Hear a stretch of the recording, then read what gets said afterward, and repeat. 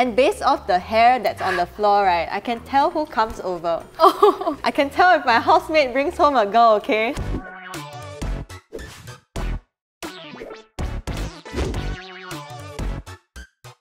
Hi, I'm Natasha and I moved out when I was 23 years old. My name is Chow and I moved out when I was 24. I'm currently staying in a cluster apartment there are nine units in this entire apartment, so think of it as a very tiny condo with no facilities. For me, I'm staying in a private apartment, also very small. If I'm not wrong, there's like 15 or 16 units, 5 floors, that's it. Today we're going to be sharing more about our experience moving out in our early 20s.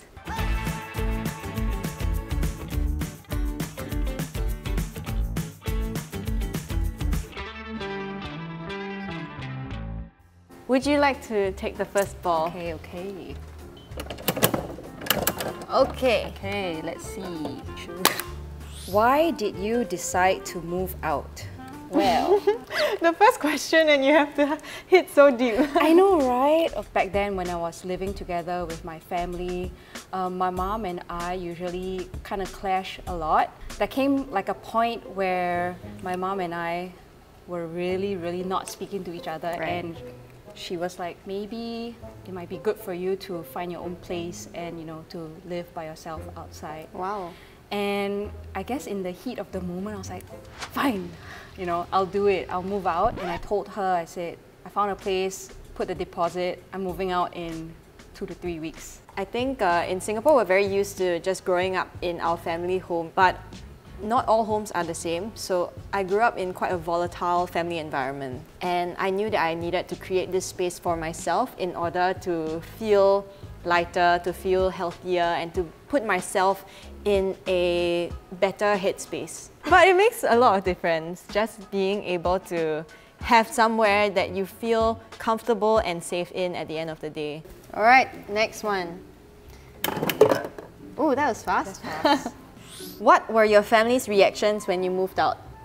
When I told her that I signed the lease and the security deposit was placed, she was like, can you not move out? Oh, wow. Yeah, I'm someone who's like quite strong-headed. Uh, and I would say I'm stubborn. I'm a Taurus. so I guess that contributes as well. So I was like, since you asked me to move out, I'm going to move out. And there's no turning back after that. So they were quite upset I kind of like cleared that up. I said, no, this is really for myself. I, I need some space from you guys and I hope that, you know, you will respect that. Yeah. I would say my parents are still quite traditional in their mindsets. They did take me moving out a bit personally in that they felt like they couldn't, I guess, give me a place that I wanted to stay in. It was a choice I made for myself to feel better. Okay. Do we get a sweet? No, we get a question. I was hoping for a How do you cope financially? How to cope financially is to be very prudent with your money and budget properly, know your expenses, and know how much of your income is going towards different expenses. When I first started renting, I looked for housemates. To give you a benchmark, I think a room can go anywhere from 1.5 to 1.8 and then my entire apartment now with three bedrooms is 2.5. So do the math, it really does help out a lot with housemates. For me, I'm quite lucky. It is a one bedder and a plus like small study room. The whole place got me at 1.8. Ooh, that's yeah. a good price. But that price is not reflective of the current market right now. What's the most unexpected habit you have adopted after moving out? I have one cleaning. I clean a lot now. Now that I'm staying by myself, my personal space is everywhere. So I clean a lot. Unexpected because I just never really experienced the urge to uh, clean so much mm. spaces before. Yeah. Now, when girls especially come to my house, I will have a vacuum on standby I'm not kidding. And when I'm having like dinner, you know, and I see them do this and I see the hair drop onto the floor, I will be like, wait. And I'll take the vacuum and I'll vacuum the hair. I'm, I'm so sorry, but that's like, it's like, it's like kind of gross. I don't know if it's a habit, but yeah, cleaning became a really huge part of like okay like my habit now is and based off the hair that's on the floor right i can tell who comes over oh i can tell if my housemate brings home a girl okay What's an annoying habit that your housemates have? I think I'm lucky that um, my housemates are also people who were close friends and that the friendship has not changed. I've come to realize that their standards for cleanliness are a lot lower than mine. It's a me problem because I expect more, right? So then I just clean it lah, you know? To have a healthy housemate relationship, pay your rent on time, especially if your friend is like the master tenant paying for everybody. Have clear communication one time when there was unhappiness amongst the between us over certain things, what we did was we just sat down at the dining table and we had a two hour conversation. That was the most serious conversation we've ever had. And we cleared up the air about the different things and then we moved on from there. And this is just key to maintaining good relationships. Do you prefer to eat out or cook at home? for health reasons, I do prefer to eat at home. Te usually with a friend, you tend to order quite a bit, you know, like want to share and try some stuff, so the bill really like gets pretty high. Recently, the government gave out um, CDC vouchers, mm -hmm. so I had the full three hundred dollars to myself. Okay. So you have hundred fifty for grocery shopping, and you have hundred fifty for a uh, hawker center. And I actually just used it over the weekend.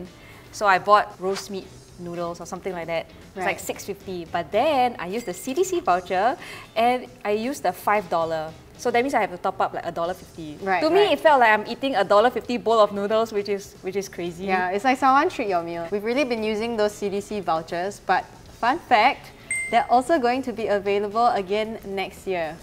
My grocery expenditure isn't particularly high, but um, I usually just opt for the most affordable alternatives. Really, like if the bag says budget on it, right, I'm picking it up. like my favorite section the is budget. the the budget or the sales section. The clearing, like the clearing it. section. Yeah, I love it. Mm -hmm. Have you ever regretted moving out? No. For now. Oh, for now. There's for a, now. There's a for now. Why? So for now, I guess I'm young, I can make these decisions, I don't have any liabilities. Um, I have cats. Hey, same. Two cats. I have two cats to pay for. Uh, but in terms of like the life experiences that I gain from moving out, I don't regret that. Financially, maybe. So yes and no. I do not regret a second of my life. I've never regretted. It has made my life so much more worth living. All right. Hello. you got the M&Ms. Yes. Oh my god. I was looking at this from the start. I wanted the M&Ms. In three sentences, tell us three tips on saving costs. I've got one tip. And when you are shopping for food, look for house brands. House brands are usually priced a, uh, a little bit more affordably and the quality of the food, right, I can guarantee you is still top notch for vegetables, opt for cheaper or more leafy vegetables. They have this thing where it's like three types of vegetables for only $2.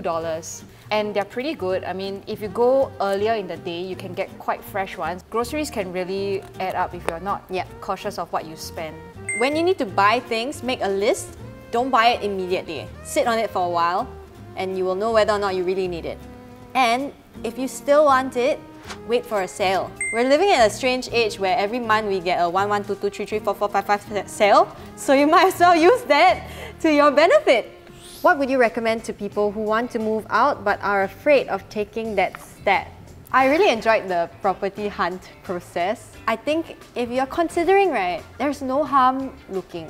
And you don't you don't have to commit to anything there and then, but at least you know what the space is like, what the market is like, and what sort of prices are generally given in the market at the moment you know, there's this saying like, know what you're getting yourself into. Mm-hmm. Trust me, when you move out, right, you don't know. You don't know what you're getting yourself into un- until you are really inside. When you first move out, you're like, oh, I just have to pay rent. No, you don't. You have to pay two months of deposit. You have to pay stamp duty. You have to pay for agent fees if there is.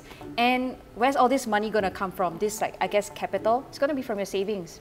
Have a good amount of savings set aside. Yeah. Is for example, if, if I really like lose my job, right? At least I have savings to save me from this like whatever issue that I'm gonna you know happen in the future. Yeah, I mean it is a bit unpredictable what's going to happen next. It's just being careful. Mm.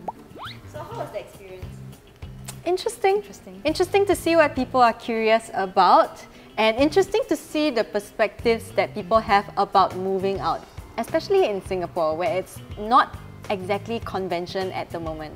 I would say living alone in, in Singapore or live, moving out, right, or renting is a very uh, sensitive topic. These kinds of comments from Singaporeans kind of like makes me also rethink about my intentions for moving out and whether it's like, oh, am I a bad daughter for, for right. moving out and neglecting my family? Right. I have looked at these comments, people saying that uh, I'm why did I do certain things, like why did I move out, why did I buy a house, that sort of thing.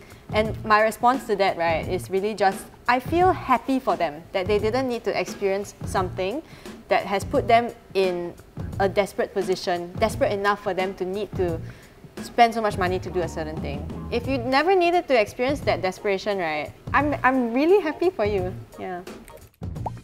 Thank you for watching For Real. For Real! If you want to see more, don't forget to like and subscribe.